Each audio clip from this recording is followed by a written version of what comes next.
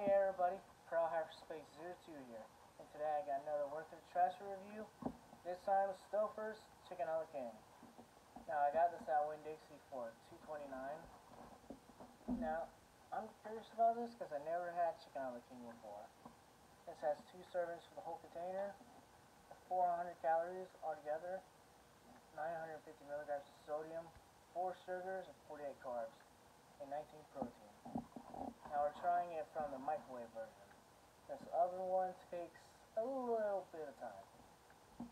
But this is what it looks like on the box. What is reality?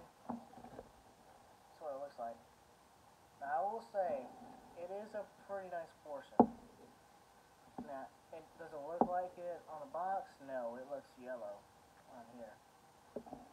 But, well, my presentation is one thing, all it is about the taste. Let's try it.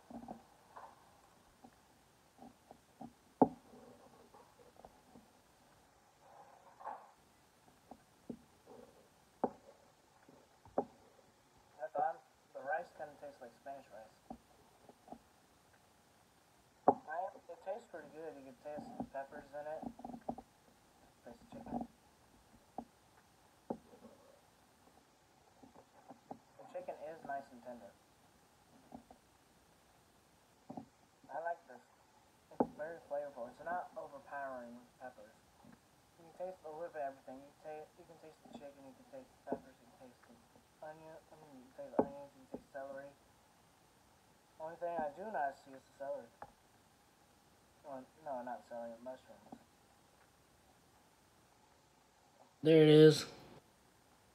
A tiny little speck right there. That's a mushroom.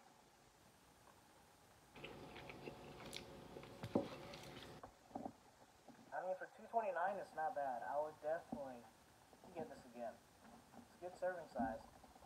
So, so chicken ala king is a definite an 8 out of 10 definitely worth it. Bye, everybody.